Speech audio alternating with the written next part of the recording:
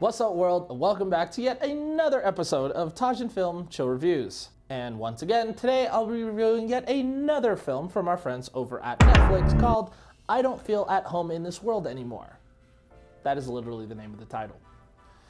Directed by Macon Blair and starring Melanie Lynskey, Elijah Wood, Gary Anthony Williams, Lee Devon Graye, Robert Longstreet, and Christine Woods, I Don't Feel at Home in This World Anymore has a long ass title.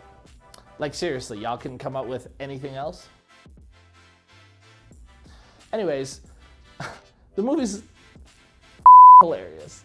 When a depressed woman is burglarized, she finds a new sense of purpose by tracking down the thieves alongside her obnoxious neighbor. But they soon find themselves dangerously out of their league and in deep shit against a pack of degenerate criminals. So this movie actually came out back in 2017, but uh, as I was scrolling through the seemingly never-ending scrolls of Netflix, uh, I watched this trailer and laughed mildly and thought to myself, why not? Let's give it a shot. I'm glad I did because this movie was absolutely hilarious. So here's kind of the gist. I'm gonna be very short and sweet with the summary this time. So, nursing assistant Ruth returns home from a bad day at work when she realizes that her house has been broken into. She reports it to the police that the thief has stolen her medication, along with her grandmother's silverware and a laptop computer. When she asks Detective William Bendix for advice, he chastises her for leaving her door unlocked. Ruth then goes door to door asking her neighbors if they saw anything suspicious. One of them, Tony, Elijah Wood, Frodo, becomes enraged that someone would target a neighbor. Each other? Makes me so furious! Kevin, stop it! Frightened by his reaction, Ruth leaves. However, later she returns to seek his help after the police refuse to follow up on a mobile app revealing the location of her laptop. So naturally, Ruth and Tony form a very friendly bond and are now on a quest to find the people who done it.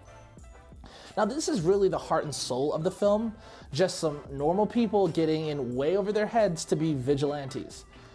Tony, played by Elijah Wood, is absolutely hysterical. And Ruth simply wants justice and is tired of shitty people getting away with doing shitty things. I mean, if that's not one of the most relatable things in this life, then I literally do not know what is. I don't want to spoil this film because it was great and funny, so all I'm gonna say is watch it. You will absolutely love it. And if you don't, you're just stupid. So here's my review. Story, I give the story a three and a half.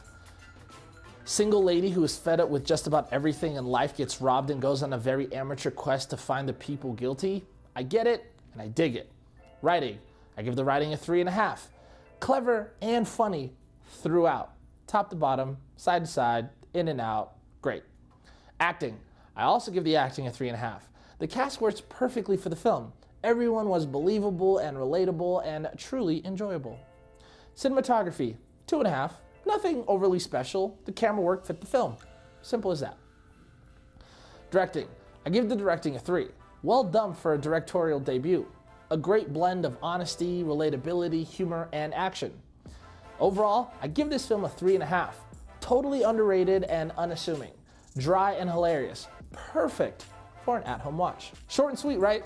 So there you have it. Another film, another review. Be sure to click that subscribe button and let me know what you think in the comments below. See you next time on another episode of Taj n Film Chill Reviews.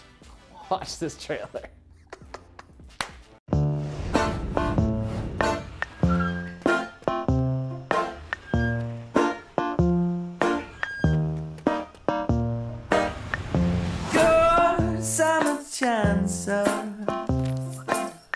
A freaky, freaky dancer.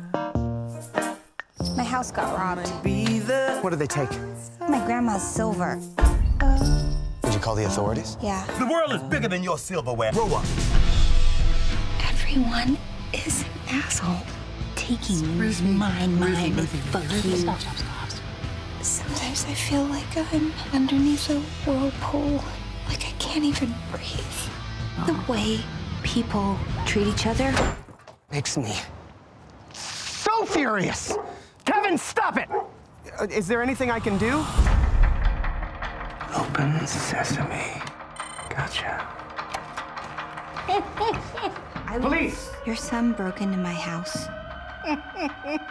I have no idea where he is.